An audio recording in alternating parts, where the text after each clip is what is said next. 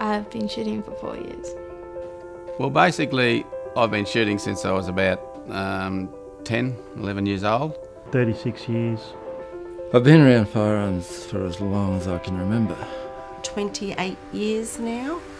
Ah, uh, yeah, we started me, but well, oh yeah, a long time ago.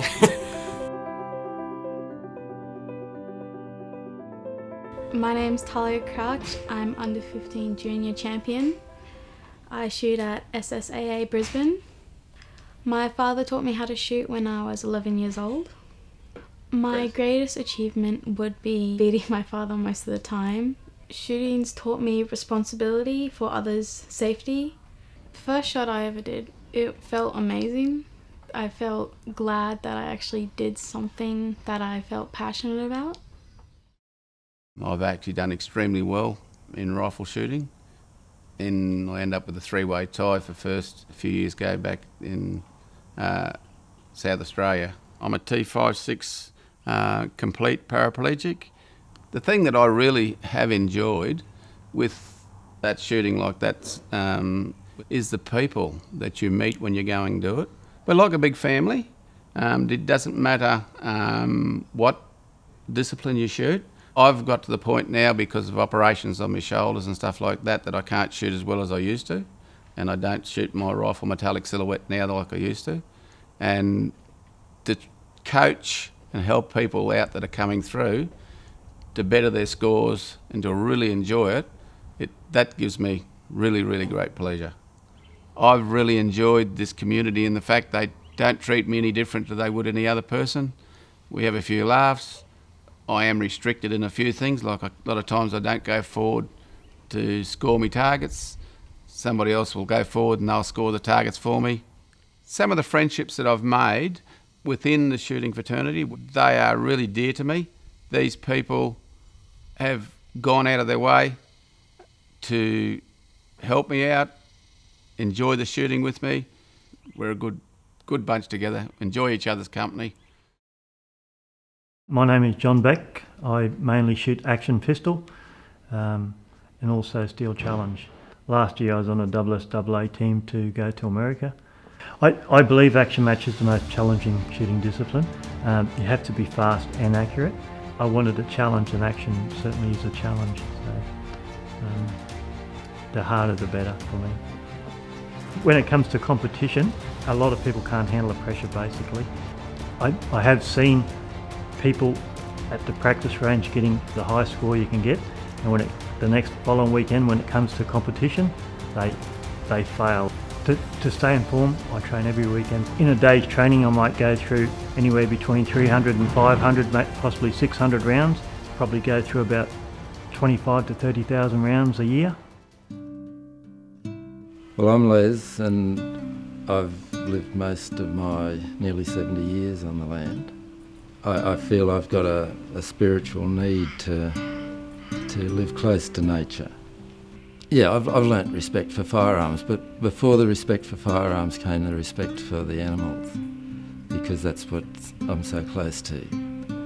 I see uh, that firearms are an essential tool for the farmer to help achieve this balance and to maintain this balance in nature the sheep industry in probably South Australia, northwestern New South Wales, and very much in Western Queensland has just about been destroyed. It's decimated because of wild dogs. Um, they put us out of sheep when we lived in the west, um, and most people that we know of out there went out of sheep. Yeah, I've seen them all, but I'd, I'd much rather see a dog shot than um, caught in a trap or die with a bait. I've seen three of our own dogs die from baits, and it's not very pleasant. Um, not very pleasant at all. Uh, I mean, these animals that I share the area with the environment, they've got a right to be there as much as I have. And if they have to die, I, I believe they've got a right to, to die with dignity, as I would like to. My family basically lives on the range. My dad runs the competitions. My mother does the store downstairs My sister and I do the canteen upstairs with both our parents. Sporting Shooters Brisbane is our second home.